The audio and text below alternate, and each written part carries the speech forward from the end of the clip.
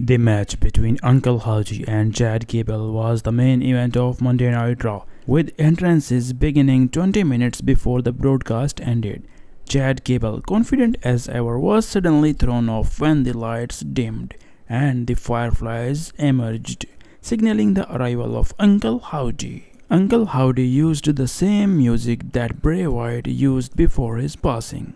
During the fight, Uncle Howdy taunted the camera with a chilling yeah yeah yeah yeah as the show cut to commercial, a tribute to Brodie Lee, Luke Harper. In a nod to Bray Wyatt, Howdy performed the iconic upside down look from the turnbuckle, followed by a Uranage and a two count. In the final moments of the match, Uncle Howdy dodged a moonsault from Chad Gable and nailed a sister Abigail for the win. This match was a monumental moment for Bo Dallas, wrestling his first match in nearly five years. It was also a tribute for Bray Wyatt fans as the night honored his legacy in spectacular fashion.